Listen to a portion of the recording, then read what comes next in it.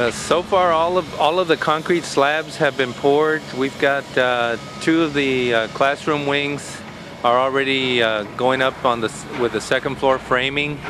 The uh, concrete block work has actually begun on um, all the way up to the to the second floor.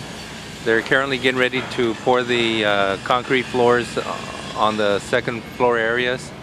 So we've got two of the two of the three classroom wings that are uh, actually already pretty well under construction. The third one is getting ready to start the concrete block work.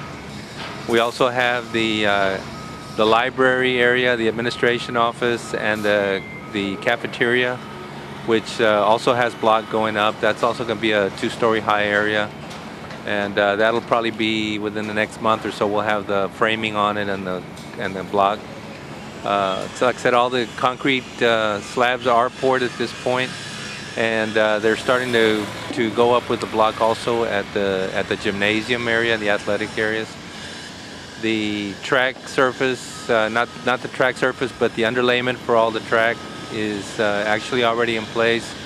All of the uh, the parking areas already have caliche, even though we don't have the curbs or anything in there.